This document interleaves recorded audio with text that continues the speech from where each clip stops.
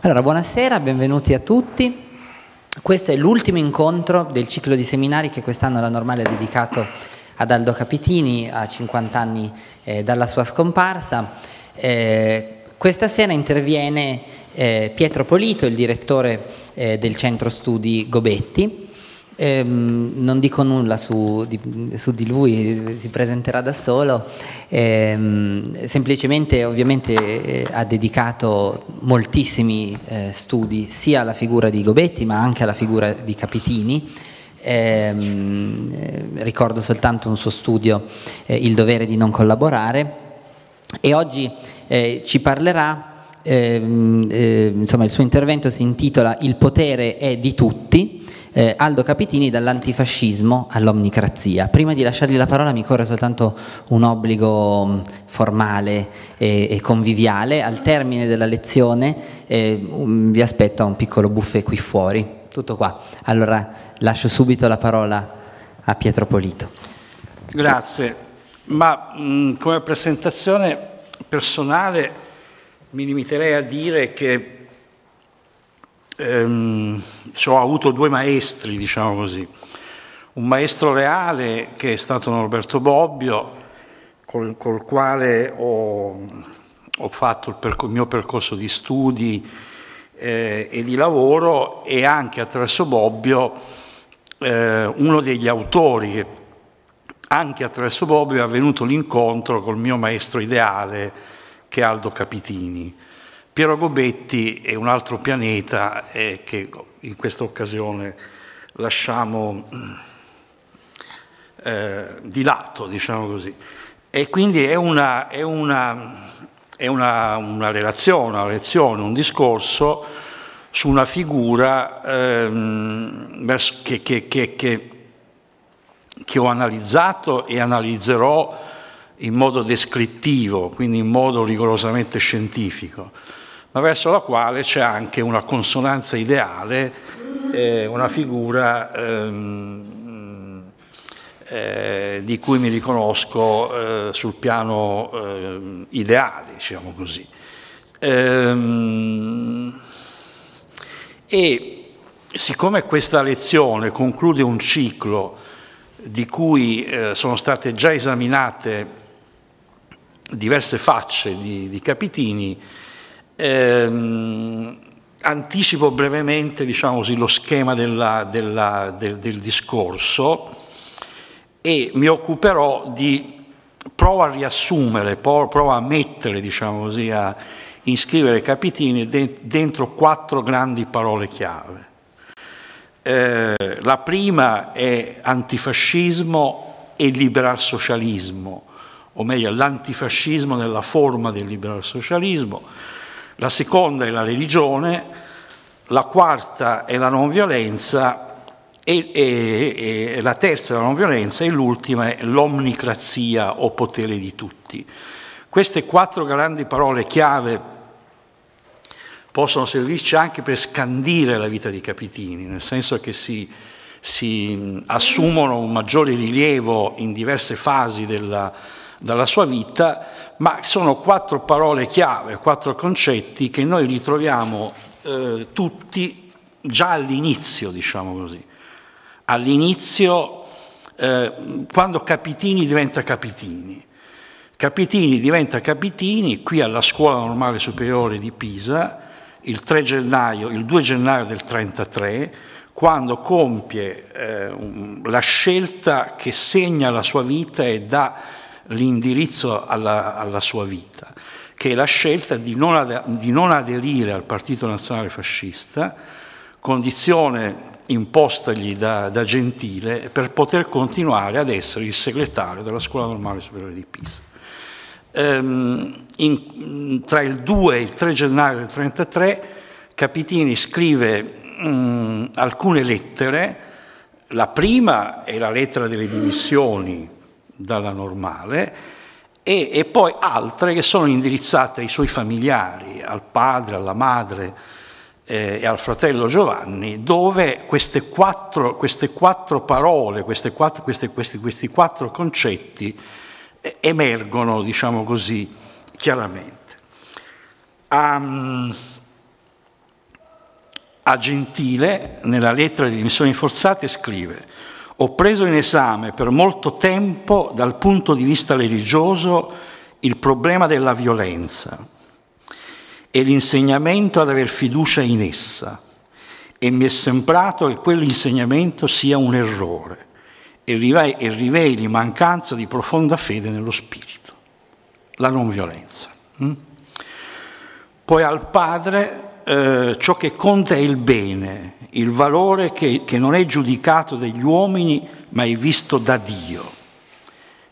La religione, anche se la, la, la, la religione dei capitini, come vedremo, non è una religione eh, teistica, diciamo così.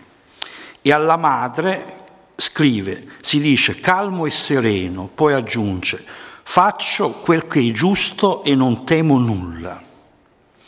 E poi c'è eh, due passaggi di due lettere al fratello Giovanni.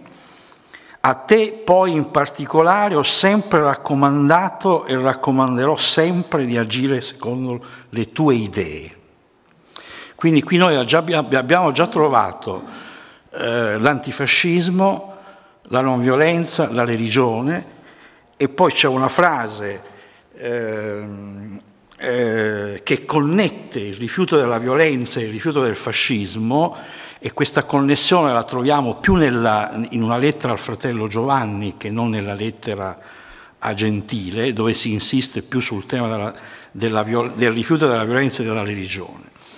Al fratello scrive, le mie idee religiose sono assolutamente contrarie alla violenza. Quindi è un rifiuto della violenza o una scelta della, violenza, della non violenza su, su, su basi religiose. Vedremo poi di che cosa si tratta. Essendo io dunque contrario alla violenza, non posso approvare il tipo di educazione che si dà oggi in Italia, che è una gonfiatura di patriottismo e un insegnamento continuo di esaltazione, di potenza, intesa in senso materiale. Tutte cose questa è una sintesi di ciò che era il fascismo, contrarissima alla religione.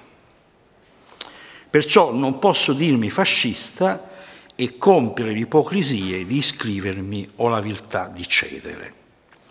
Torniamo ancora un momento sulle, sulle quattro parole chiave. Tra queste quattro parole chiave eh, la religione una certa idea di religione che poi Capitini eh, declinerà nella forma di religione aperta è lo sguardo, lo sguardo che, che, che, Capitini assume per guardare al mondo, alla realtà, alla, alla convivenza, ai problemi dell'organizzazione sociale della politica. E, e innerva tutto, tutto il ragionamento di Aldo Capitini. Tra poi non violenza e antifascismo, non antifascismo, e liberal socialismo in un primo momento, Capitini è tra i fondatori del movimento liberal socialista con Guido Calogero nel 40, e l'omnicrazia, che è un'idea che eh, è, è, precedente, si trova negli scritti precedenti, perché Capitini sviluppa prevalentemente negli ultimi anni della sua vita, quindi a partire dal 64 in, avanti, in poi, si può stabilire una relazione del tipo tra la via e la meta. Cioè la non violenza non è solo questo, ma in relazione al liberal socialismo e all'omnicrazia può essere intesa così come eh, nella, nella forma della via attraverso la quale si può giungere a una meta. Il liberal socialismo è, ehm, è un ideale di società, è un fine, e così anche l'omnicrazia. L'omnicrazia si potrebbe dire è, eh, è, è, la, è il modo attraverso il quale eh, diciamo così, eh, Capitini ripensa e riorganizza la sua idea di società eh, che, in una, che, in una, che, in un primo momento nel libro Nuova, Nuova Socialità e Riforma Religiosa, un libro del 50 che raccoglie gli scritti precedenti a quella data, aveva riassunto nella formula del liberal socialismo. Eh, vediamole una per una, brevemente. Liberal socialismo. La scelta dell'antifascismo si eh, esprime si prolunga in quella del liberal-socialismo. Nella galassia dei, dei movimenti antifascisti Capitini ne fonda uno, che è quello del liberal-socialismo, l'abbiamo già detto con Guido Calogero, il liberal-socialismo poi nella, nella sua... Eh, che è una rete, adesso non possiamo parlare di questo, una rete sul piano nazionale, ci sono diverse anime. Il liberal socialismo poi diventerà una corrente del partito d'azione, prevalentemente.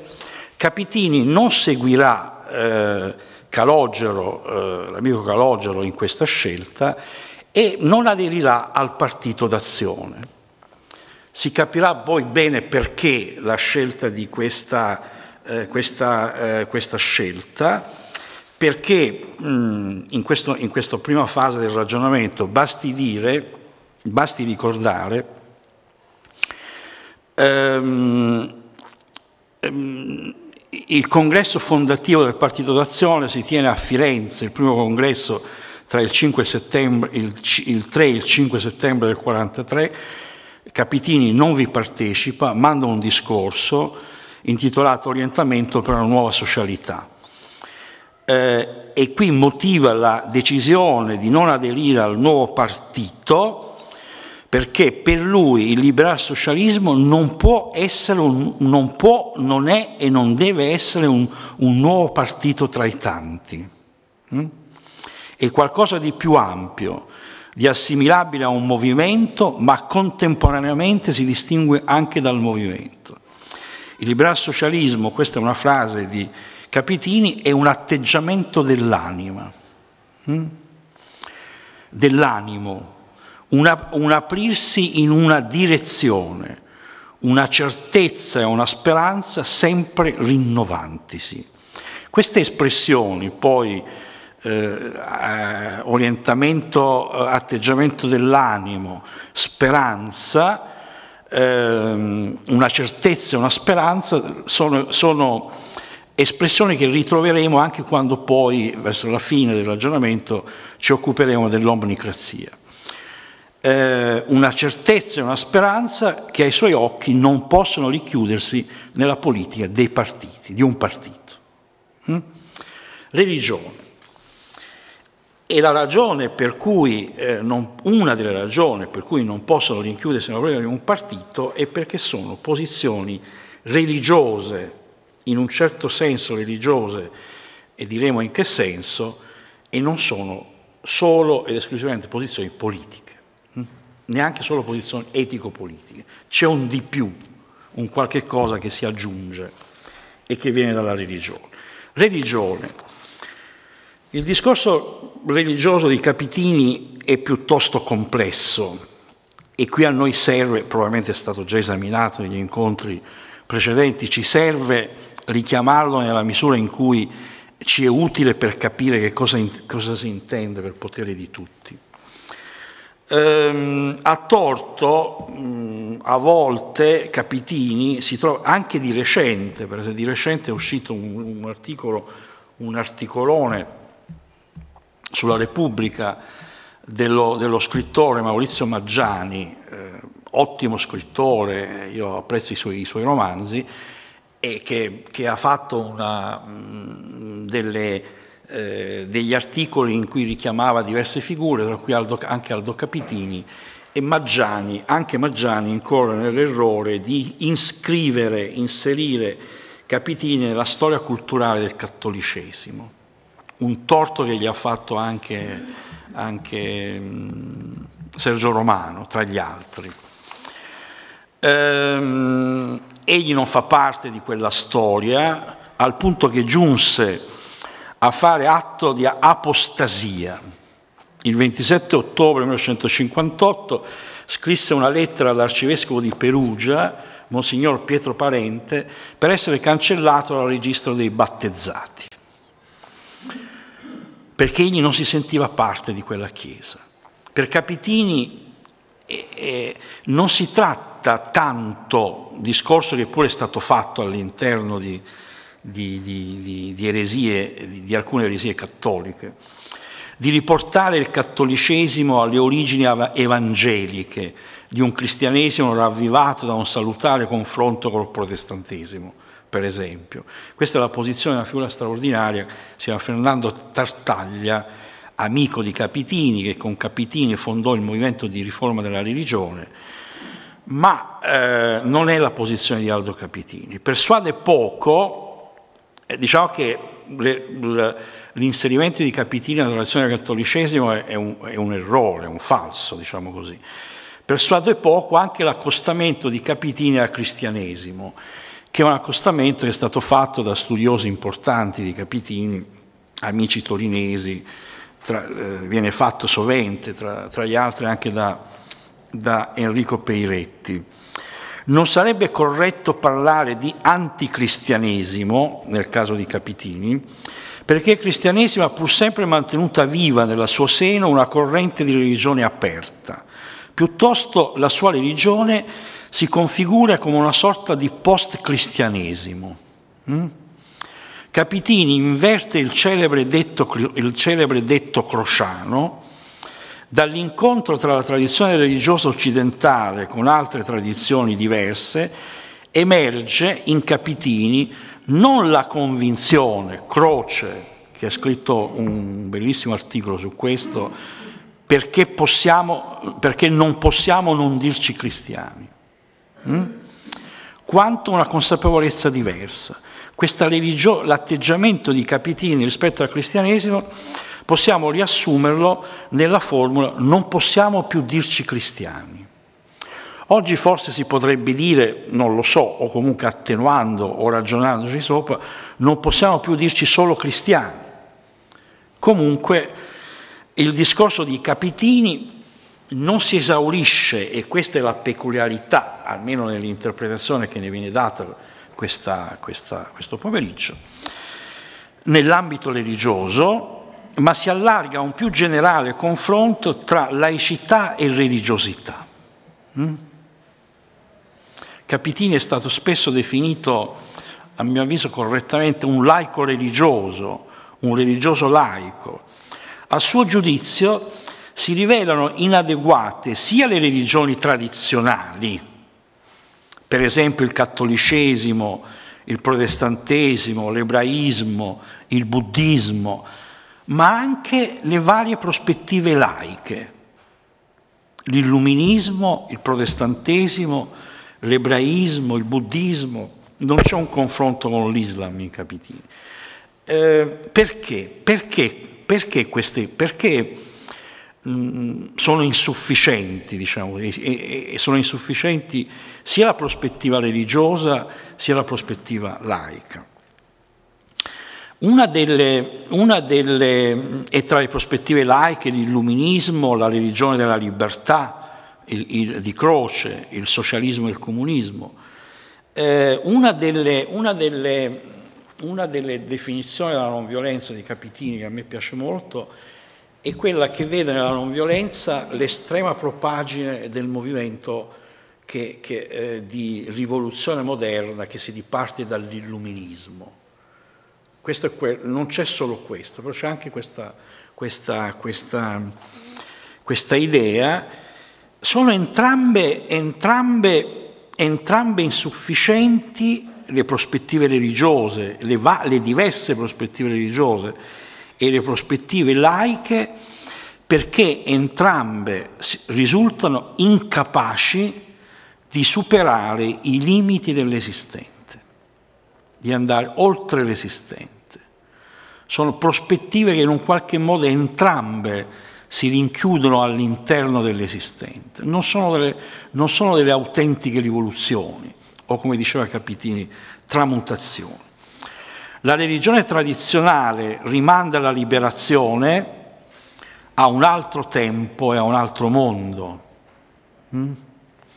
Il pensiero laico, rinunciando alla trascendenza, si rinchiude nei limiti di questo mondo e lo accetta qual è.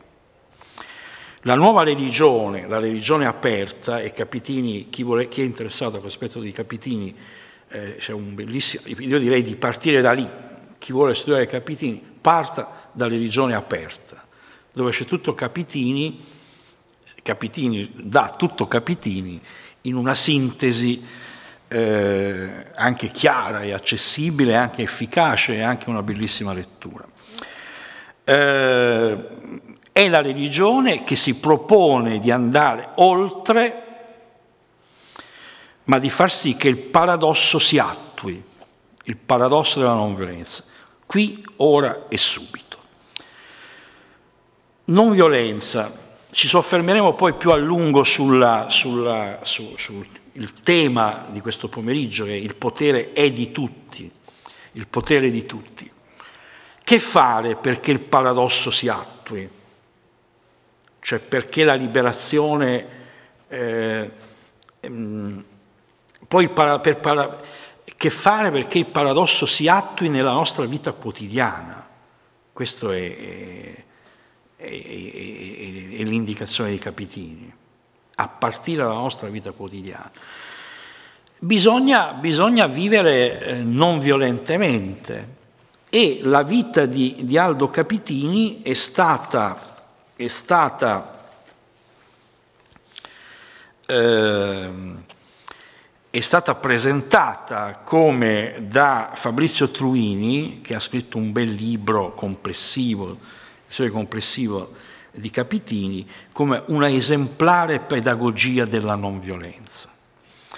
La, eh, l'attivismo capitiniano, l'attivismo non violento capitiniano, che inizia eh, con, con, la scelta di ehm, di mm, sostenere e di essere vicino al giovane Claudio Baglietto, il primo obiettore di coscienza eh, con cui eh, aveva compiuto, eh, Baglietto era più giovane di lui di alcuni anni e quindi anche lui normalista, che sceglie, rinuncia a, una, rinuncia a diventare ehm, l'allievo prediletto di Giovanni Gentile, cioè, pur di non ehm, eh, cedere rispetto alle proprie idee, che erano di rifiuto del servizio militare. Quindi il giovane Baglietto si trovava in Svizzera nel 1940 per una borsa di studio datagli da, da, da Armando Carlini, allora direttore, eh, cioè, il suo professore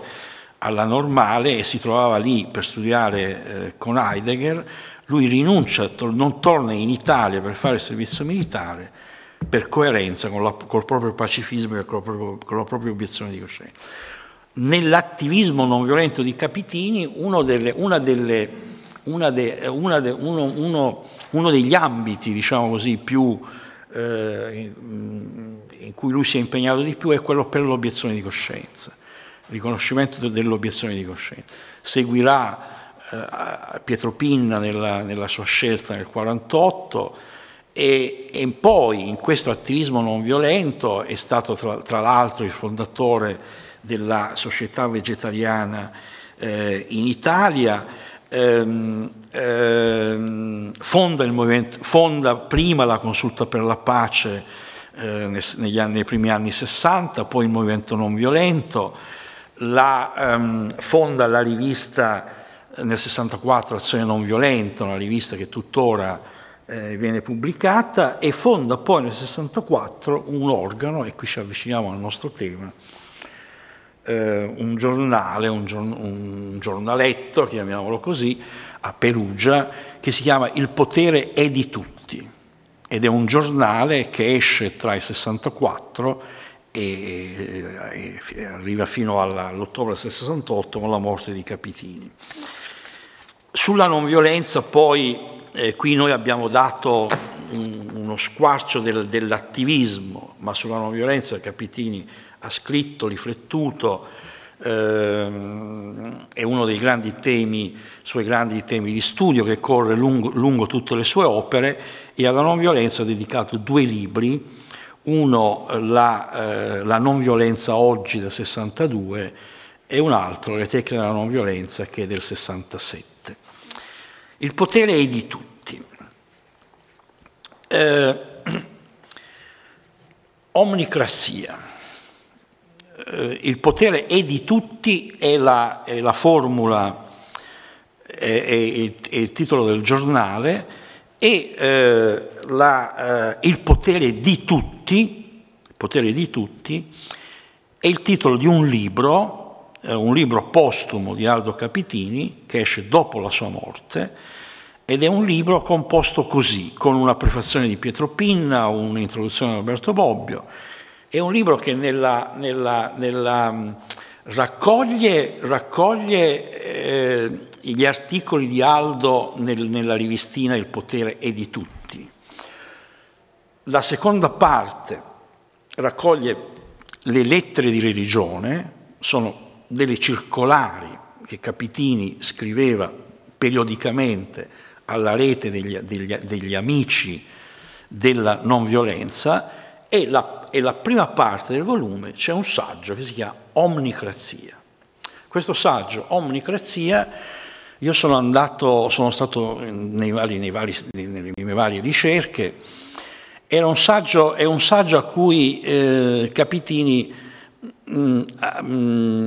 attendeva ne, negli ultimi anni della sua vita, a cui tendeva molto, eh, teneva molto. Aveva scritto a Umberto Segre, che in quel periodo eh, dirigeva la casa di saggiatore, si stava adoperando per, il, il libro era quasi pronto, diciamo, si stava adoperando per poterlo poi pubblicare e interpretava questo, questo suo saggio, questo saggio Omnicrazia, come un po' la, la, la summa, la sintesi, la, eh, il libro in cui lui proponeva la sua visione della politica, diciamo, del suo pensiero politico.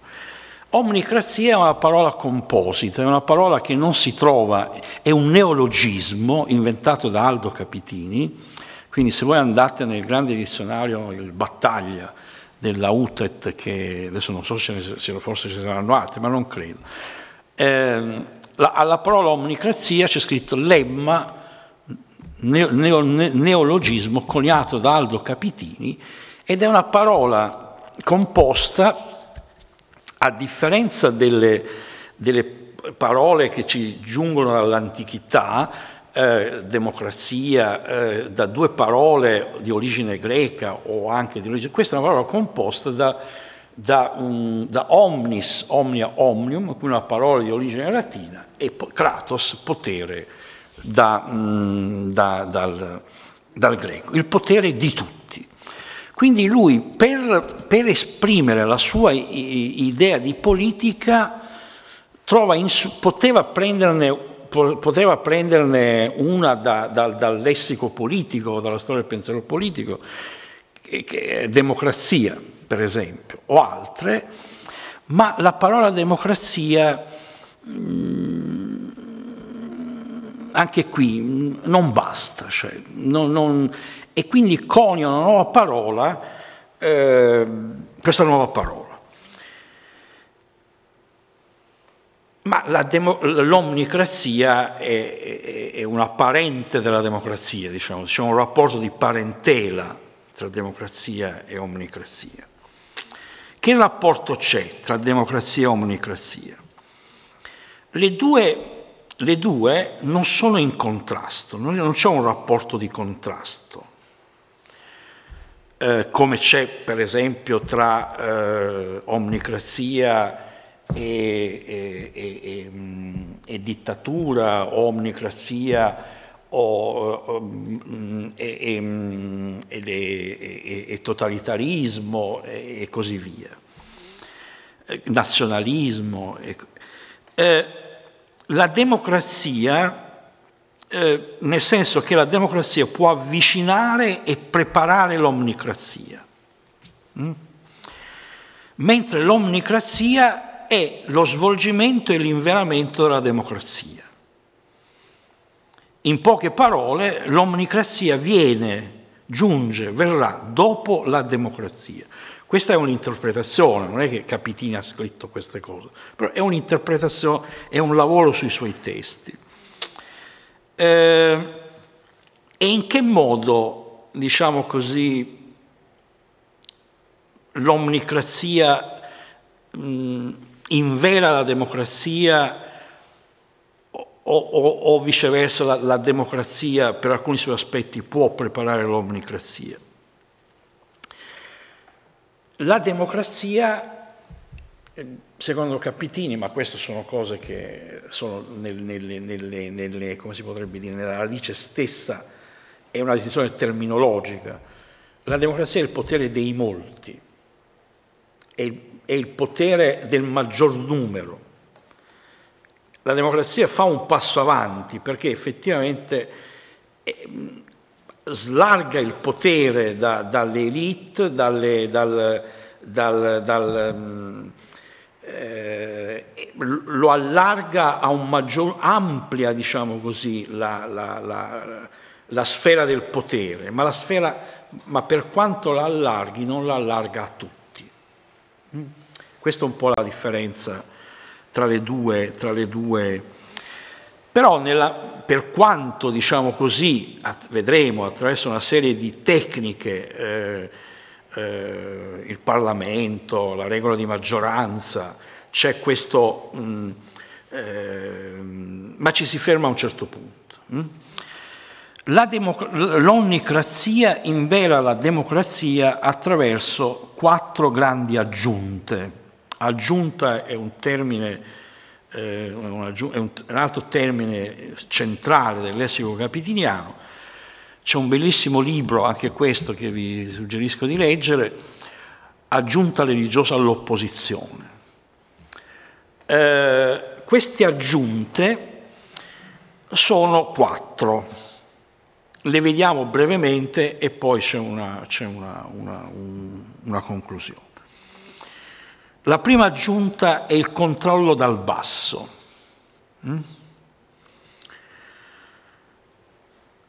L'atteggiamento di Capitini verso il Parlamento, verso l'istituto parlamentare, non va confuso col generico antiparlamentarismo che in diverse situazioni storiche accomuna l'estrema sinistra all'estrema destra. Per lui si tratta di andare oltre la democrazia parlamentare, conservandone gli istituti che la contraddistinguono, a cominciare da quell'istituzione fondamentale della democrazia che è il Parlamento. Questa è una frase di Capitini. Non sono d'accordo con i distruttori del sistema rappresentativo che le democrazie occidentali hanno costruito, ma ne vedo i limiti. Bisogna essere vissuti sotto una dittatura per capire che il libero funzionamento della rappresentanza parlamentare è qualcosa di positivo. Non accetto la frase del cretinismo parlamentare. Hm? Ma pur ribadendo del l'utilità del Parlamento, ne vedi i limiti. Quali? Allora, un primo limite è che la lotta politica in Parlamento è più facilmente influenzabile da parte di interessi particolari e settari, le lobby. Se voi vedete la vita parlamentare, ciò di cui si discute in, nel caso Siri, è, è quello. No? Un altro limite è che attraverso il Parlamento si, priv- si privilegia la formazione delle persone colte, che hanno altri modi per esercitare una qualche influenza pubblica, hm? più che l'educazione critica delle moltitudini popolari, quelle a cui bisognerebbe tenere di più. E questa è un'altra critica che, che si fa tutti i giorni all'attuale sinistra, diciamo, che è la sinistra delle elite e non è la sinistra de, del popolo, diciamo così, lasciando i popoli ad altri, ad altri, ad altri. Ma il limite principale del, di, del, del Parlamento è che il Parlamento, che pure è dal basso per la sua derivazione dall'elezione, rischia di diventare dall'alto. Mm? Il Parlamento, pur nascendo da un, da, da, un, diciamo, da un, dalle, dalle libere elezioni politiche, rischia di diventare dalla capitale, questo è un, è un, è un è Capitini, guarda la politica dalla capitale, da un cerchio di conoscenze speciali e di interessi riservati a pochi. Di qui l'esigenza che il Parlamento ha bisogno di essere integrato di moltissimi centri sociali, assemblee deliberanti o consultive in tutta la periferia. Questa integrazione è dal basso. L'istituto fondamentale, e poi vedremo, qual è l'istituto fondamentale dell'onnicrazia? L'istituto fondamentale della, della democrazia è il Parlamento. L'istituto fondamentale della, del, del potere di tutti è l'Assemblea. Il principio che l'Assemblea ha il potere è valido perché ciò che assomiglia di più di ogni altra cosa alla realtà di tutti, che è dal basso e onnicomprensiva. Poi sull'assemblea torneremo. La seconda aggiunta è il metodo non violento, il valore del metodo non violento. Il metodo non violento è un metodo per tutti, mentre la, la democrazia è un metodo per molti, per una maggioranza, il metodo non violento è un metodo per tutti. Questo metodo esige qualità di coraggio, tenacia, sacrificio e di non perdere mai l'amore. Esige addestramento fisico, psicologico, ma è possibile anche per persone di forze modeste. Può essere applicato da tutti. Hm? È un metodo in cui un cieco, dice Capitini, può essere più utile di un gigante. Mm? La forza della non violenza è, che è un metodo in cui ciascuno può dare il proprio contributo. Il malato, eh, l'escluso eh, e così via. Si svolge non dall'alto ma non dal basso perché pone in primo piano non la forza fisica ma la forza dell'animo. Prefigura l'unità di tutti non dal punto di vista dei potenti ma da quello degli inermi e degli intrepidi. Non esclude nessuno, paradossalmente nemmeno gli avversari, perché è rivolto contro il male e non contro le persone. È un metodo dinamico, costruttivo, aperto, che richiede la collaborazione di tutti, i deboli, gli inermi, le donne, gli anziani, i giovanissimi, i bambini. E poi alcune immagini straordinarie di Capitini che erano in precedenza, che magari riprenderemo verso la fine, sulla non violenza, eh, qui ce n'è una. La non violenza è la porta aperta per non rimanere soli. Mm?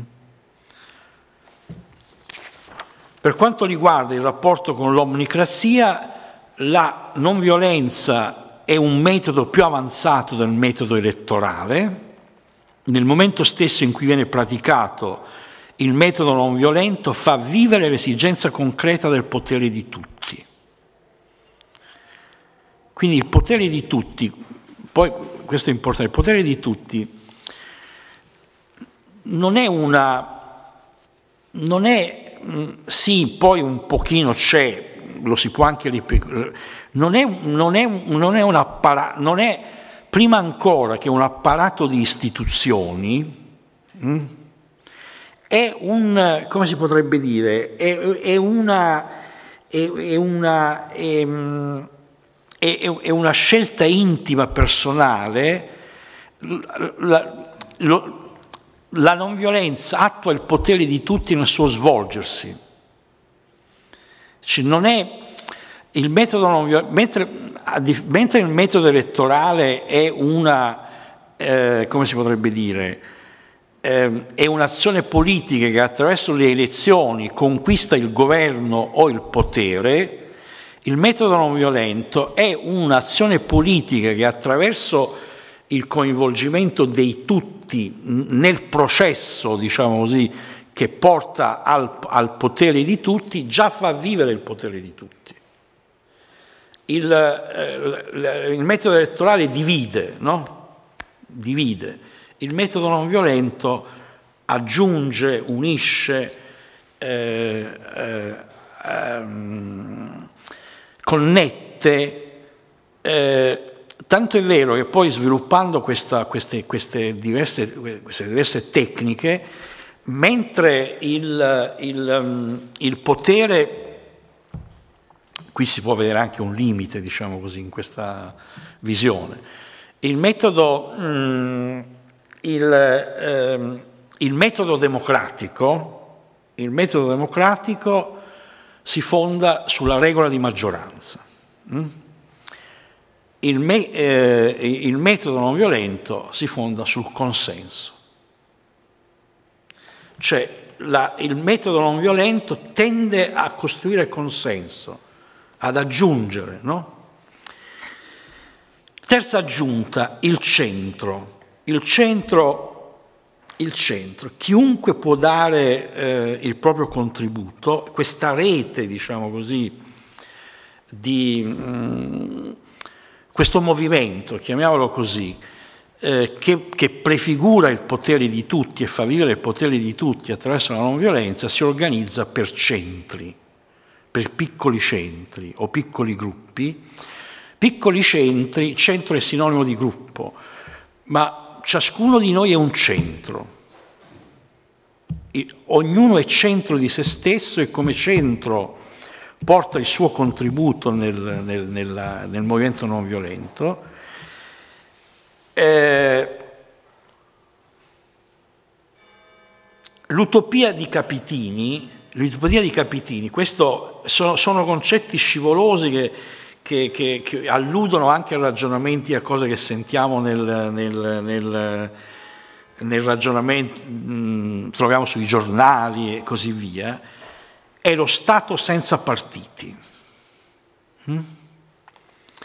Alla critica dei limiti del Parlamento egli affianca un'analoga critica dei limiti del partito. Il centro è, è l'antipartito, mettiamola così. Mm? Mentre l'omnicrazia è l'antidemocrazia, nel senso che sostituisce il metodo non violento al metodo elettorale, qui sul piano dell'organizzazione politica i centri eh, eh, mh, prendono il posto dei partiti. Mm? Ehm, il partito si rivela uno strumento inadeguato di lavoro per la società di tutti. Nuova socialità e riforma religiosa, 1950. I partiti perché? Perché? I partiti esistono per il potere, per acquistarlo o per sostenerlo. Da ciò la loro ragione d'essere e tutti i loro limiti, il macchiavellismo, la disciplina interna. Vedete se non sentite, non sono cose che si, che, di oggi, diciamo così eh, le gelosie, il settarismo, il patriottismo di partiti. La conquista del potere è l'assoluto per il partito. Il partito è il mezzo, il potere è il fine. Ma qui sorgono gravi difficoltà. È la domanda delle domande. Può il mezzo essere diverso dal partito? Dal fine? Può il mezzo essere diverso dal fine? Con l'espressione nuova socialità Capitini intende che la partecipazione dei cittadini alla discussione e alla decisione dei problemi collettivi sia tanto intensa da non rendere necessaria l'intermediazione dei gruppi organizzati. È una bella sfida, perché noi sappiamo cioè, che tenere, eh, come si potrebbe dire, la tensione alla partecipazione così alta e anche così continuativa nel tempo, eh, non è possibile o è estremamente difficile o accade in momenti particolari, diciamo così, della, della vita politica. Se il fine della politica non è il potere, ma la nuova socialità, la principale forma della partecipazione è il centro che non è societario ma comunitario. Non si schiera contro altri partiti ma si tiene aperto all'iniziativa di tutti. Qui è Capitini che parla. Non impone dogmi ma discute problemi, non conosce privilegi di tessere, di tessera né poteri di funzionari. Ancora Capitini. Il centro è aperto al mondo circostante e chiude la sua attenzione, ma non registra ciò che riceve, va oltre gli iscritti, gli iniziati, i battezzati, gli aderenti, i fruenti delle stesse idee o degli stessi beni. Al posto della società circoscritta che esclude, trova posto il centro, che dà e non sa più da dove arriveranno le onde che partono da esso. Ma la, e ci avviamo verso la conclusione, la l'aggiunta, diciamo, si potrebbe dire l'aggiunta delle aggiunte o l'aggiunta, diciamo così, che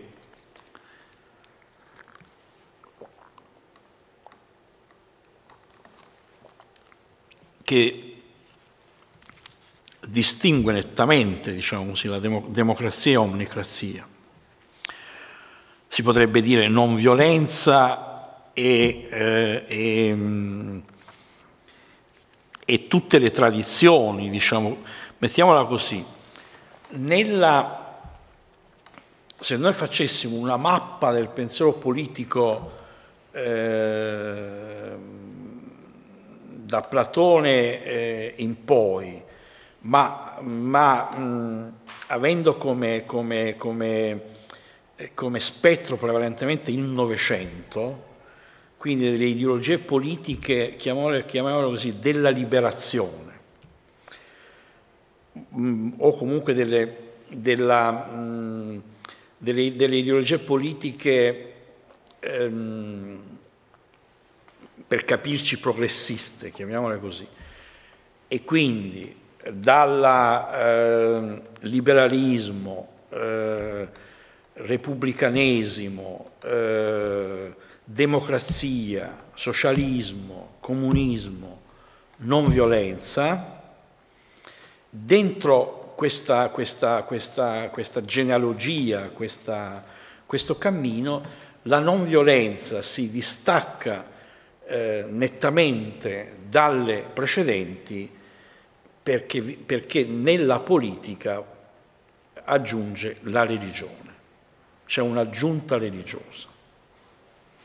C'è, con la non violenza, c'è un salto qualitativo eh, in, in, in, inimmaginato e forse inimmaginabile, che non era stato mai immaginato prima dentro, dentro quelle le, le, le visioni che ho elencato, e forse inimmaginabile, io questo lo pongo anche come domanda, la domanda che voglio porre anche all'amico Tonino, forse inimmaginabile, nel senso che non è possibile.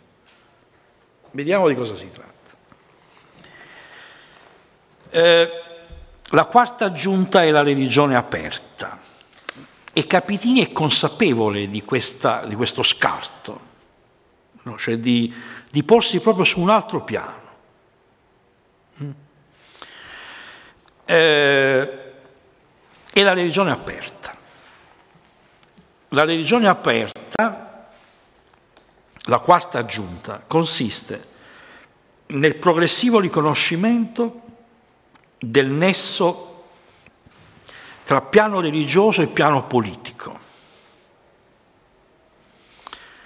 tra la compresenza, questo poi è un altro termine che va spiegato, eh, c'è un altro libro importante di Aldo Capitini, la compresenza dei morti e dei viventi, magari lo riprendiamo nella discussione, e il problema politico e sociale da cui scaturisce, lo dice proprio Capitino, un'idea di comunità, dice, che parrà insolita nelle trattazioni giuridiche, politiche e sociali.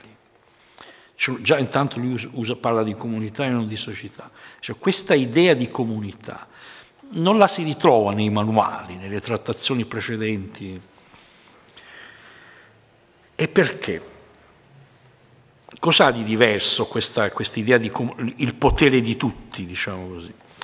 Dice Capitini, della comunità fanno parte non soltanto i cittadini sani, attivi e producenti, e queste sono, sono le, le, le, nostre democrazie, cioè le democrazie in cui viviamo, diciamo. Le democrazie in cui viviamo sono costru- democrazie costruite su, sulla, sulla, eh, sul cittadino produttore. Cittad- se non produce, è il cittadino produttore tan- è, è, tanto più cittadino produttore quanto più è in buona salute eh, ed è attivo, diciamo così. Mm? Ma anche i malati, gli inerti, i disfatti, i morti. Possiamo essere aperti non soltanto ai viventi, ma anche agli esseri prigionieri dei limiti del dolore e della morte ai crocifissi dalla realtà nella forma che essa ha attualmente. E tale apertura a quel martirio, a quella testimonianza dell'insufficienza della realtà attuale, attuale fa accertare in noi una virtù più profonda ed autentica, che è quella della compresenza, della compresenza di tutti. La, I limiti che abbiamo esaminato prima, fin qui, sono limiti politici, sono limiti che attengono all'organizzazione della democrazia. La, eh, ma la democrazia non ha solo limiti eh, politici, ha, ha soprattutto e prevalentemente dei limiti religiosi. E questa è la differenza qualitativa tra la democrazia e l'onnicrazia. Non si tratta di sostituire l'assemblea al Parlamento, il centro al partito eh, e, e, così via. Mm? Da una pagina del saggio Omnicrazia, questo saggio Poteri di tutti, dedicata più specificamente al problema del potere, possiamo trarre un catalogo dei difetti e delle possibili involuzioni della democrazia, della democrazia attuale. Sono difetti e involuzioni ehm, ai quali la democrazia è perennemente soggetta, diciamo così. Allora, primo limite, attribuisce alla maggioranza un potere che qualche volta è eccessivo rispetto ai diritti della minoranza. Secondo, fa guerre di Stato contro Stato. Fare guerre. Si dice, una, uno, i, difensori della democrazia, eh, chi parla è tra i difensori della democrazia e tra i fautori della democrazia, però dicono che uno, de, delle forze, una, uno dei, de, de, della dei vantaggi della democrazia che la democrazia non fa guerre. Mm, questo mm, è palesemente dimostrato che non è così. O poi hanno ridotto non fa guerre, le guerre non fanno demo, le democrazie non fanno guerre alle altre democrazie. E anche questo non è, non è propriamente così. Tre, conferisce alle polizie il potere di torturare come avviene in tutti i paesi, e molte volte un soverchio intervento dell'ordine pubblico. L'Italia ha, introdotto una legge sulla tortura contro la tortura malamente in questi giorni, in questi mesi. Non è sufficientemente aperta a ciò che potranno dare o vorranno dare, vorranno essere i giovanissimi e i posteri. Vedete il modo come vengono irrisi i ragazzi eh, scesi, scesi, in piazza con, contro l'ambiente. E poi i posteri, problema delle future generazioni. Preferisce, le democrazie possono preferire strumenti coercitivi e repressivi a strumenti persuasivi ed educativi. Poi sesto, le democrazie si lasciano sopraffare, sopraffare dalle burocrazie, trascurando il servizio pubblico, a, a, pubblico anonimo, concentrano il potere preferendo l'efficienza al controllo e finiscono col non considerare sufficientemente i mezzi e le loro conseguenze per raggiungere un fine. Questa è una, è una descrizione perfetta di, eh, di, eh, di, ciò che numerosi, tantissimi studiosi di fede democratica hanno dato delle democrazie attuali chiamandole eh, ehm, autocrazie. Cioè, le democrazie attuali in realtà più che democrazie si vanno allontanandosi, diciamo così, dalla natura della democrazia e tendono ad assumere auto, autocrazie legittimate da, da un'elezione politica. Mm? Ma perché in ultima istanza la democrazia non realizza effettivamente il potere di tutti? Ecco la sua risposta, la risposta di Capitini. Eh, la democrazia, questo è il punto, conserva riferimenti al procedere della natura. L'omnicrazia tende ad essere sempre meglio attuatrice della, della compresenza. Per la democrazia la vitalità, la forza, talvolta la costruzione, la rivoluzione, la guerra e la guerriglia hanno il loro posto. Mm? La compresenza si presenta come valore costante e l'individuo, unito alla compresenza ha una forza maggiore di tutte le forze. È una risposta che rivela la profonda ispirazione religiosa e non politica del suo pensiero. Non si, non si, insisterà mai abbastanza sul fatto che per Capitini il problema politico è indissolubilmente legato al problema religioso. Il problema dell'avvento e di una società integralmente democratica, diciamo così, l'omnicrazia è imprescindibile dal problema della formazione nel suo linguaggio della tramutazione dell'uomo democratico sic et simpliciter dell'uomo. La riforma omnicratica mira a far nascere congiuntamente a una nuova società un uomo nuovo. Una considerazione, cioè è, mh, mm, come, potrebbe, come, valutare questa, questa, questa costruzione? Intanto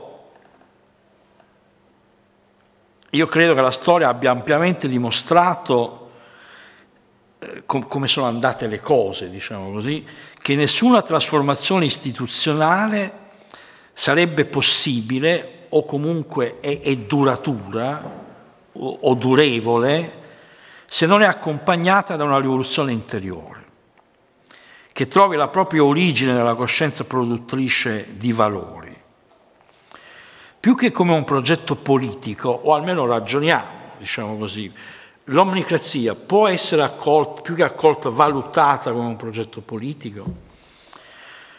Certamente l'omnicrazia può configurarsi ed essere accolta come una speranza, un ideale morale a cui dovrebbero tendere i persuasi, i non violenti.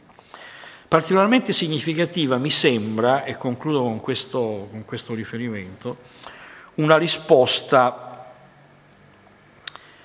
che Capitini dà a una lettrice del, della rivista Il potere è di tutti. È un'idea sconcertante, è un'idea che sconcerta, che spiazza, cioè non è, un, non è un'idea convenzionale, diciamo così, l'omnicrazia. E come tale e, di, e della, dell'anticonvenzionalità, diciamo, di questa idea erano, erano, consapevoli anche i lettori della rivista. E allora una, una lettrice, eh, Capitini era un uomo mite, era un uomo che, che mite poco, era un uomo che trova il tempo per chiunque, cioè, quindi per, per, i giovani che incontrava in Corso Vannucci quando eh, è costretto a un esilio forzato nella sua Perugia, per i lettori delle, delle sue riviste e quindi io ho, è molto bello andare anche a spulciare proprio le risposte che Capitini dà uh, e una, una, delle lettere è di una lettrice in cui gli, gli chiede di spiegare il titolo. Perché questa rivista si chiama Il potere è di tutti? No?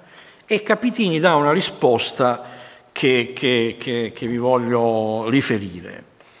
Il nostro titolo ha evidentemente un valore paradossale.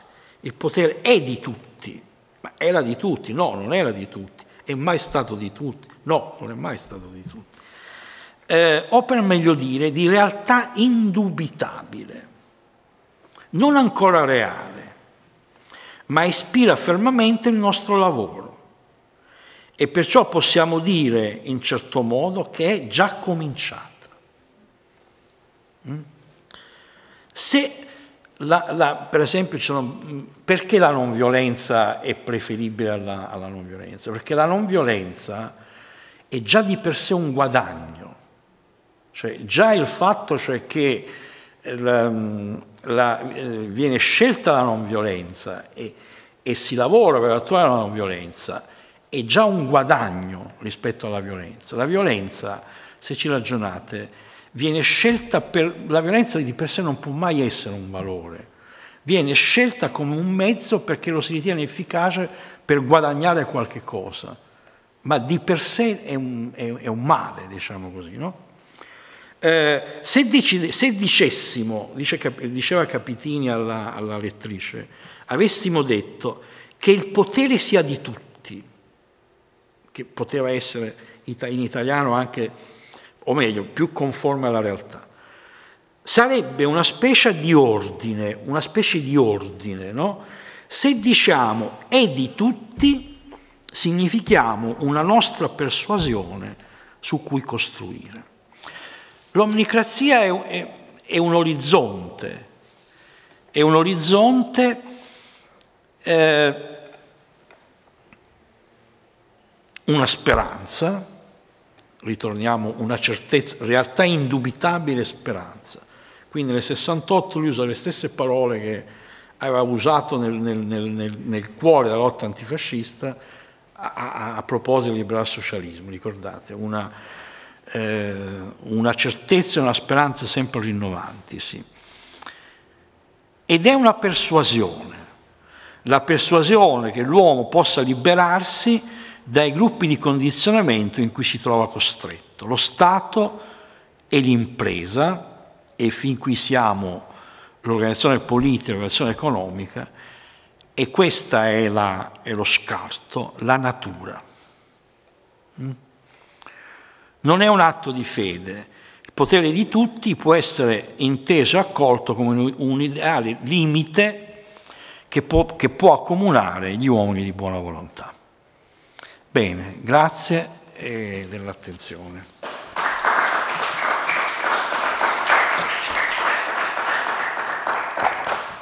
Vi ringrazio dell'attenzione e anche se c'è eh, qualche domanda, qualche, qualche reazione, prego. Aspetta che cerco una matita che...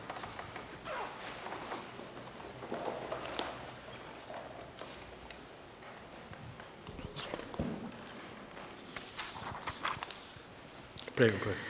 Eh, grazie mille. Ehm, ho trovato l'intervento molto condivisibile fino agli ultimi minuti del suo intervento. E adesso spiego, diciamo, cerco di mh, spiegare perché io anche mi occupo di Capitini da un po' di tempo, insomma, cerco di scrivere anche su Capitini e, da qualche anno e Emanuele Profumi, e in particolare proprio su questa questione della politica. E, um, vediamo dove eh, cer cercherò di argomentare la critica perché altrimenti diventa un po' una cosa eh, incomprensibile. Allora, sono completamente d'accordo, ovviamente, che Capitini non può che pensare la stessa cosa che fa Gandhi, alla politica a partire da una radice fondamentalmente religiosa e quindi che la compresenza sia alla base del concetto, dell'idea, anche del concetto filosofico eh, possiamo dire perché così anche lo vede Capitini, eh, di omnicrazia. E, però ecco, nel ragionamento che lei ha fatto, nella ricostruzione che lei ha fatto, a me sembra che ehm, il passaggio che inizialmente lei sottolinea tra il liberal socialismo e il concetto di omnicrazia non sia stato sviluppato fondamentalmente. Perlomeno non sia stato sviluppato nella parte che non è direttamente legata alla non violenza, cioè non, non direttamente legata alla giunta religiosa. Perché nella dimensione diciamo, liberal socialista viene ripreso una, come giustamente ha sottolineato, un immaginario, possiamo chiamarlo così, eh, che è esattamente legato all'immaginario moderno rivoluzionario, quindi da questo punto di vista quella, la genealogia che, a cui lei faceva riferimento è anche la genealogia a cui fa riferimento Capitini direttamente. E, ehm, però ecco, questo riferimento alle rivoluzioni moderne port, si porta in sé il riferimento a come Capitini pensa effettivamente e sente effettivamente il liberal socialismo e perché non vuole diciamo, sostanzialmente poi entrare nel partito d'azione e interpreta il liberal socialismo da una parte, come lei giustamente dice, come un, un moto dell'animo e dall'altra però anche come un movimento, perché anche a questo fa riferimento poi Capitini.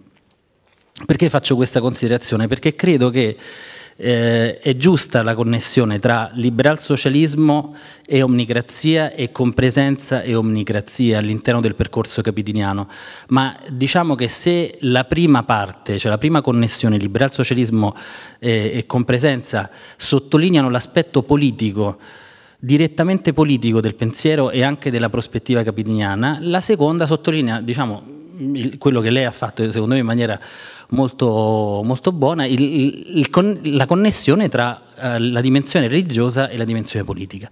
Che cosa voglio dire con questo? Voglio dire che esistono quanto, quantomeno due eh, radici del concetto eh, importante, dell'idea importante, della prospettiva importante dell'omnicrazia. Da una parte è quella religiosa effettivamente, e dall'altra è direttamente politica.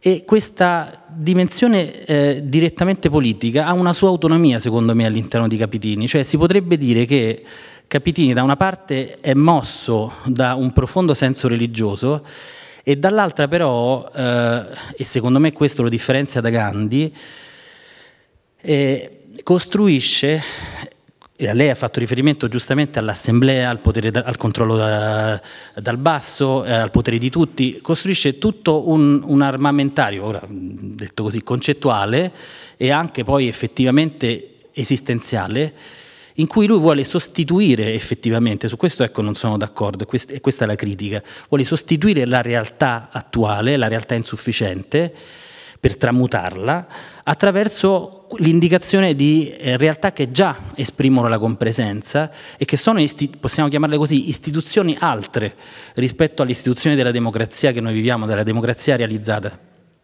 L'assemblea, per esempio, i COS, eh, quello che in qualche modo lei eh, ha chiamato centro, che è giusto, ma che Capitini chiama anche comunità aperta e quindi sono una serie di indicazioni che Capitini dà per dire guardate che noi la realtà attuale la, la, la possiamo già tra, tramutare attraverso cose che sono già nate, sono istituzioni, in questo senso io penso, quindi lo, lo riassumo così e finisco, che eh, Capitini eh, faccia un, un passo in, più avanti dal mio, dalla mia prospettiva rispetto a Gandhi, perché si, lui sta già dando indicazioni di quella che è la realizzazione della compresenza, e cioè dell'omnicrazia già realizzata, e quindi in sostanza stia dando un, un potere, diciamo così, un valore importante al potere di tutti già realizzato. Che cosa voglio dire? Che, che esiste un'autonomia del politico all'interno della prospettiva di Capitini e non è un caso, secondo me, che alla fine di, di tutta la sua lunga esistenza, diciamo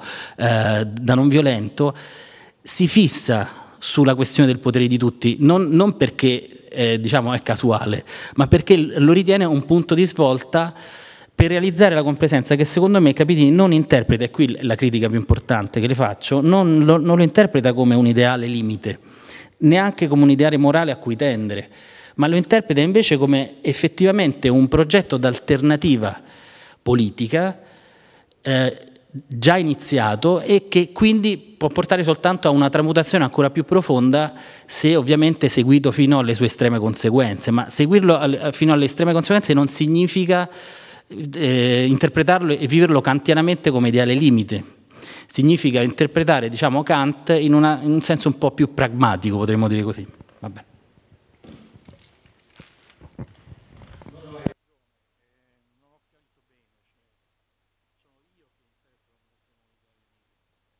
Capitini, sì, sì. Eh, era una considerazione mia eh, eh, sulla base di questa, ehm, di questa lettera, eh, risposta a questa lettera di Capitini, cioè, fo, ehm, ho prefigurato l'omnicrazia come, come, un ideale limite, ma no, Capitini crede, crede che lo, lo, si possa realizzare, che lo si sta realizzando. Anzi, ehm, Mm, le quattro aggiunte che, che, che, ho, che ho, enumerato, eh, um, ed è giusto anche l'osservazione sul, sul, pezzo politico, diciamo così, eh, sociale, che poi la socialità è un fatto, è un fatto politico, non è, non è, un fatto religioso. E, ehm, e, ehm, c'è un saggio che, del 64 che io ho pubblicato in un, in un mio libro su Capitini di, fa, di, qualche tempo fa, intitolato Teoria politica e struttura sociale dell'omnicrazia, dove lui parla proprio della, della e, e, le quattro, e, le, e, le prime tre aggiunte, quella prima mh, non la regione aperta, ehm, sono la prefigurazione della struttura politica e sociale di, di, del suo ideale politico. Cioè, no? E, ehm, e, e, quindi chiarito questa cosa qua, diciamo così, sono io che sono un po' scettico su, su, sulle possibilità dell'omnicrazia. Ma no, Capitini invece, eh, volevo dire, quando lui ehm, parla di quelle quattro aggiunte nel 64, crede di vedere, e forse questo è legato ad alcuni ragionamenti che facevamo prima eh, con Tonino, eh, lui scrive, anni, scrive, tra il 64 e il 68, sono anni in cui effettivamente sembra che il mondo si stia aprendo, stia andando, possa andare verso mh, eh, sociali, una, una, nuova, una, nuova, socialità. E, e, sono gli anni in cui ci sono grandi, grandi o piccoli movimenti eh, politici che poi portano agli anni 60, 68 e così via e mh, mm, sono anche gli anni del, del disgelo, la Chiesa sembra... E, e lui sembra, eh, parla di quelle qua, è, è, il suo contributo che lui dà, diciamo, dà a, a, a, un mondo in movimento, cioè questo mondo in movimento che si sta aprendo e dà una serie di indicazioni concrete eh, in, quella, eh, in un'ottica non violenta, diciamo così. Poi è giusto anche l'altra osservazione, nel senso che il, mm, cioè Capitini è tutt'altro che un ingenuo, è, è un uomo fiducioso, ma è tutt'altro che un ingenuo, è tutt'altro che un uomo che viveva sulle nuvole ed era molto attento anche alle dinamiche tra i partiti, cioè, e quindi là, là dentro il liberal socialismo c'è un pezzo eh, io ho insistito sull'aspetto religioso, certamente, però c'è un pezzo che è proprio di, di mh, economico, politico, sociale. Il liberal socialismo è anche, è anche, sia nella versione di Calogero, ma anche in quella di Capitini, è una risposta, come si potrebbe dire, è una critica del comunismo, cioè è una critica dell'organizzazione sociale collettivistica da un lato e dall'altro lato è una critica dell'organizzazione sociale capitalistica, quindi c'è questa dimensione del liberal socialismo importante, c'è già per esempio anche nel, per dare, mh, nel, suo primo libro, nel suo primo libro, Gli elementi di un'esperienza religiosa, il quarto capitolo è proprio questo, il cuore del, eh, del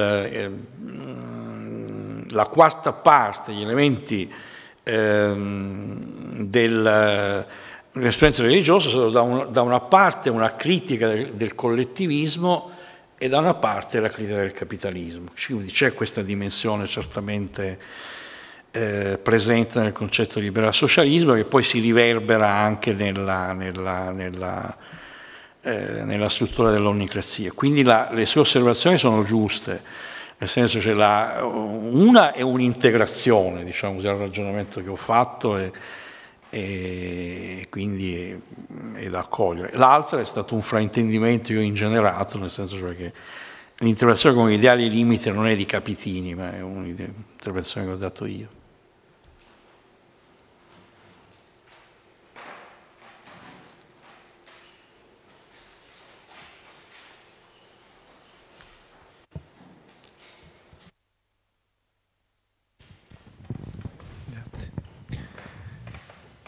Volevo chiedere, eh, noi siamo dopo 50 anni dalla morte di Capitini, quindi il problema di fondo è l'attualità di Capitini.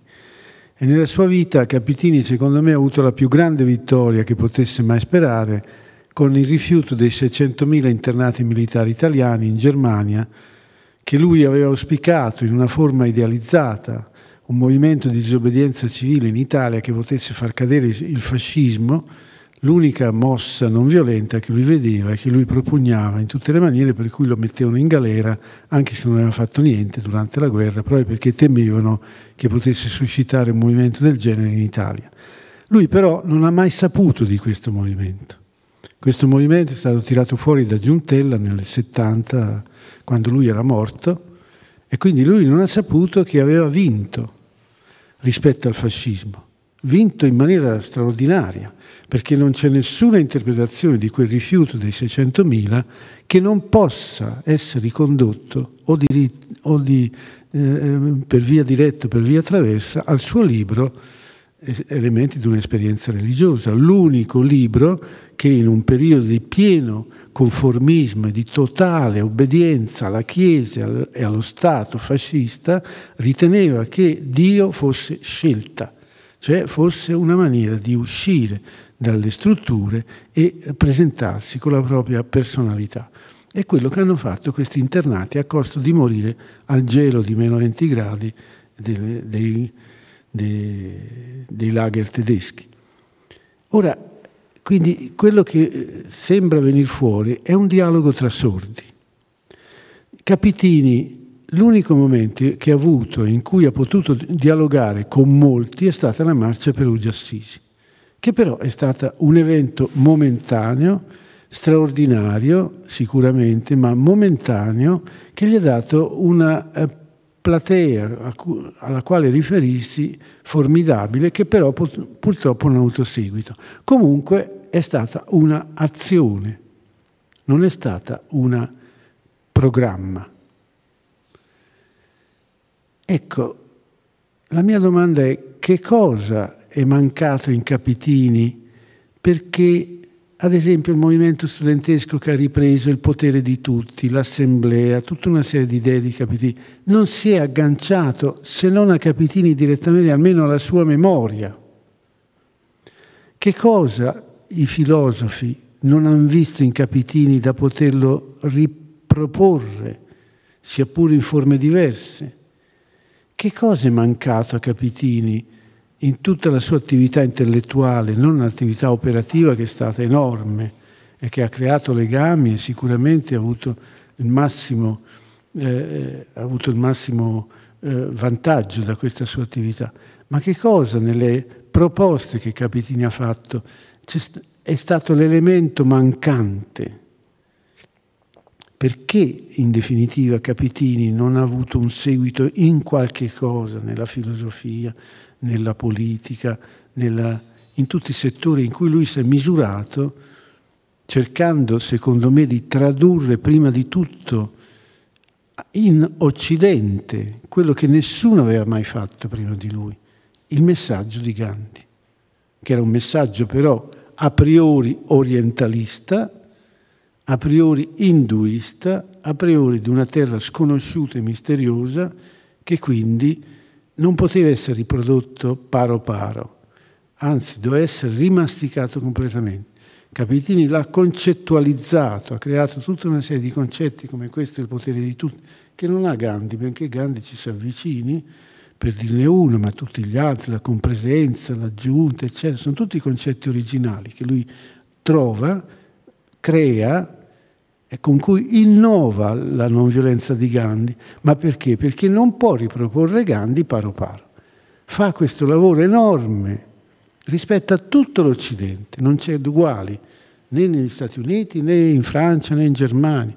C'è solo Lanza del Vasto, ma lo fa in un'altra maniera sotto, un, sotto una dirittura di una religione già costituita e delle religioni già costituite che è un binario parallelo, non è il suo. Quindi Capitini fa un'opera formidabile a livello mondiale, poi però non c'è nessuno che riprende questo discorso sotto qualche aspetto, almeno, se non nelle azioni pratiche, come dicevo prima, della Marcia per Usi Assisi, che poi continua un po' limitatamente col movimento non violento, l'azione non violenta, queste, questa cosa che dura tuttora a livello di piccoli gruppi, che era poi l'aspetto che lui prediligeva, ma di fatto più che la parte operativa non abbiamo un elemento che faccia andare oltre la, la traiettoria che aveva tracciato Capitini. Che cosa gli è mancato secondo te? Ma, ehm, la, mh, mm, se si può dire così, la, la, la mia non violenza, diciamo così, è, è capitiniana e non gandiana. Cioè, e, e quindi Dico questo per dire che secondo me eh, Capitini non, non, può essere solo visto come eh, eh, l'autore, il filosofo, il pensatore che ha introdotto Gandhi in Italia o tradotto Gandhi in Italia. E effettivamente in Capitini c'è, l'abbiamo anche detto, il tentativo di innestare la non violenza sulla tradizione del, eh, come possiamo chiamarlo, del pensiero politico, del pensiero, mm, eh, se noi, mh, mm, no, no, non che si possa, non, ma è una grande schematizzazione, diciamo, qui è il, è il maestro eh, reale che, che prende il sopravvento. Se noi leggiamo, diciamo così, la, il movimento storico in Occidente da, eh, dalla rivoluzione inglese ad oggi eh, e lo leggiamo come un, una lotta epocale tra democrazia e antidemocrazia. Eh, mh, mm, Capitini porta la non violenza o porta Gandhi dentro quello scenario e lo mette nel solco diciamo così, del movimento democratico. Diciamo così democratico per riassumere, non è solo quello.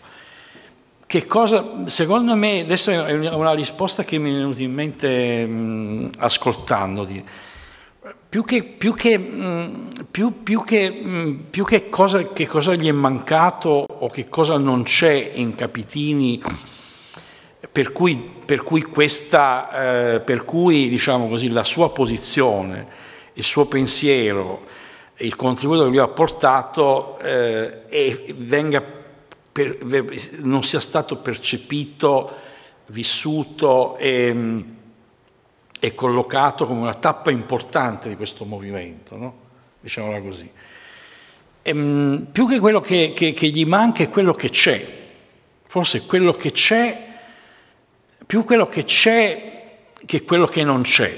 Diciamo così, questo riconoscimento dell'importanza di questa teoria eh, dentro questo movimento storico e, e ideale eh, mm, non lo abbiamo avuto non perché mm, manca qualcosa, ma perché c'è qualcosa dentro la, la posizione di Capitini che lo rende anomalo, eterogeneo e finisce col farlo diventare alla fine avulso diciamo, da questo movimento, che è, il, che è il tema religioso. Cioè il fatto che questa, cioè se lui questa teoria, diciamo così, lo dico un po', un po' non ne sono sicuro, ma voi provate a immaginare questa teoria liberata dai lacci della religione e quindi posta su un piano eh, mondano, laico, cioè eh, eh, dichiaratamente, come si potrebbe dire, ehm, lo dico così, illuministico, senza il adesso non vorrei offendere nessuno, senza la zavorra della religione. Probabilmente questo pensiero avrebbe avuto un riconoscimento maggiore non sarebbe stato più Capitini, forse, non lo so, sarebbe diventato un'altra cosa. Però io ho l'impressione che, che, che, che, sia un po' questo che, anche, e, poi, e poi aggiungo, non solo la regione capitiana non è una zavorra, però la regione può, può diventare una zavorra e Capitino lo sapeva perfettamente. E però è, una, è un'aggiunta religiosa, è un posizionamento religioso che sfida tutte le religioni eh, costituite, capite? Praticamente dentro quel movimento hanno trovato un riconoscimento Altre, altri, altri, pensieri, altre, altre, teorizzazioni, diciamo così, che hanno tentato di connettere eh, il cattolicesimo alla democrazia o alle democrazie, mentre la posizione di Capitini non trova posto perché non solo c'è questa, questa aggiunta, questo pezzo religioso, ma è un pezzo religioso inclassificabile, ehm, cioè voglio dire, lui era è una sfida, è una sfida forse troppo alta la sua, perché lui mm, la sua, è una posizione che non può essere classificata né dentro, non sta né dentro la, come, le linee religiose, eh, quelle che si sono affermate storicamente, e neanche dentro le, le, le linee la, laicistiche che si sono affermate storicamente. E quindi lui praticamente è fuori da tutti, o meglio, viene collocato fuori da tutti, dai momenti storici che poi si sono, eh, che hanno, che hanno avuto, hanno, si, sono, mh, si, sono, contrastate tra di loro lungo il Novecento. Non lo so, non so se questa è la risposta, però non, non, vedendolo da fuori non gli manca niente.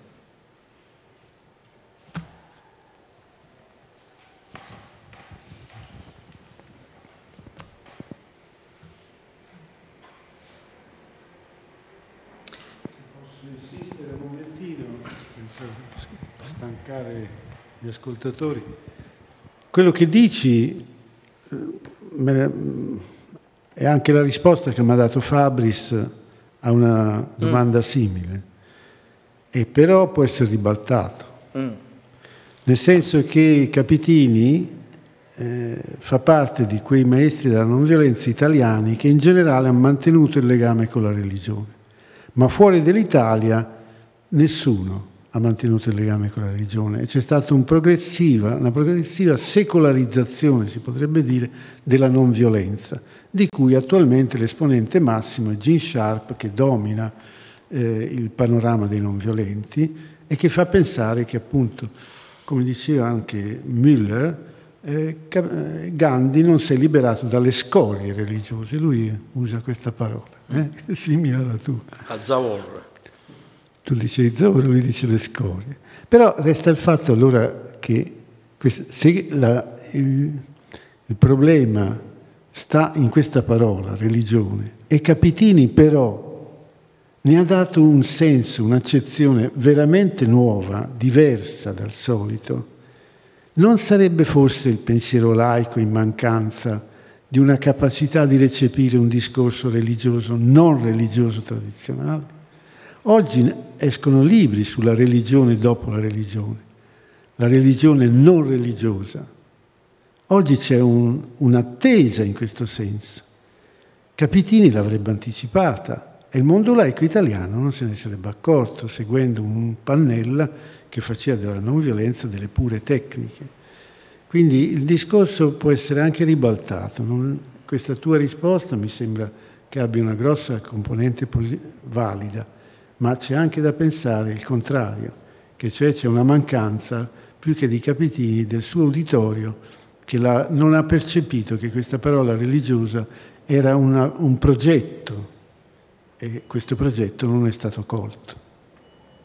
No, no, ma sono d'accordo, difatti ehm, la mia non era una difesa de, del laicismo, ehm, eh, pur, pur, pur stando, riconoscendomi più dentro, poi bisogna intendersi, comunque dentro quella, quella, questa linea di pensiero, chiamiamola così.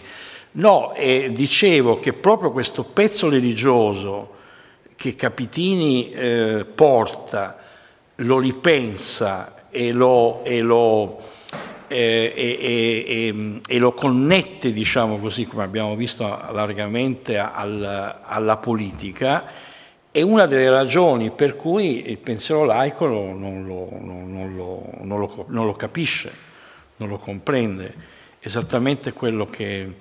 E poi diciamo così che parlando un po', se vogliamo parlare, non, secondo me l'attualità di Capitini, più che l'attualità, la, la forza diciamo, di Capitini è, è, un, è, sul piano individuale. Adesso forse il mio amico non, non sarà molto contento, però sul, io la trovo là, sul piano individuale.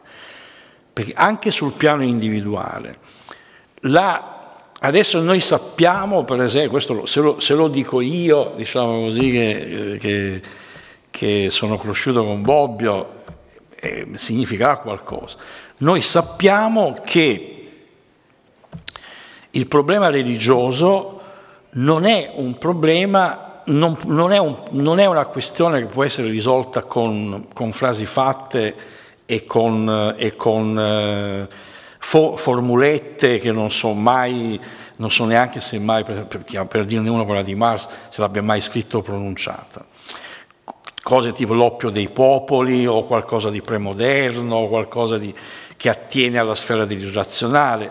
Noi sappiamo che eh, abbiamo imparato, diciamo, forse l'abbiamo imparato anche grazie a Capitini, che il problema religioso è connesso alla natura dell'uomo. È, un, è uno de, bis, bisogno non è neanche una parola che mi piace, è, un, è una sfera dell'esistente, dell'esistenza umana ed è, una, è qualcosa con cui bisogna fare i conti e Capitini vi fa i conti in un modo innovativo, originale, interessante, eh, mm, che secondo me mantiene tutta la, sua, tutta la sua validità, tutta la sua forza. È veramente una, un rivoluzionamento, diciamo così, una tramutazione del, del modo di intendere il problema religioso che, che, che, che, va incontro a tante delle domande a cui alludevi tu. Potrebbe essere effettivamente una, um, fecondo, diciamo così, inserito dentro quella,